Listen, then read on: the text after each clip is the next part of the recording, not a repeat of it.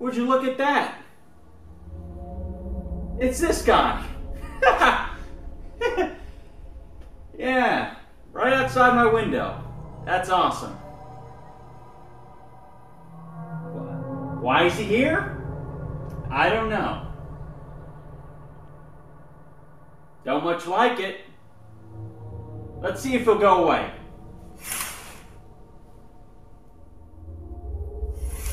No? Okay. Alright, I'm done with this. Alright, we'll give it one more try. Nope. Okay, we're done.